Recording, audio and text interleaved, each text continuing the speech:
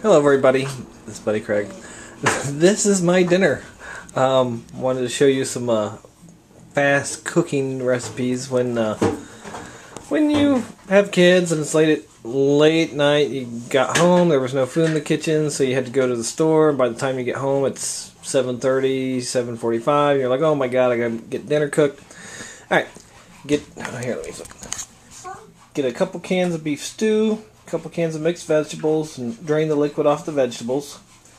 Um, pour the beef stew and the vegetables into a uh, baking dish and crack open a roll of biscuits and pile the biscuits on top.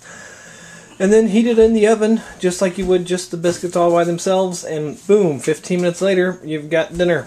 And it's really good. Um, I use the extra, I use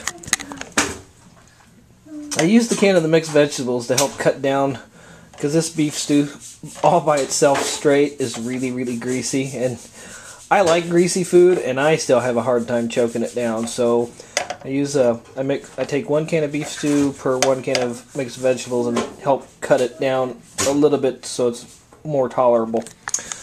But uh, yeah 15 to 18 minutes in the oven at 350 degrees and boom you got dinner. Thanks everybody. Bye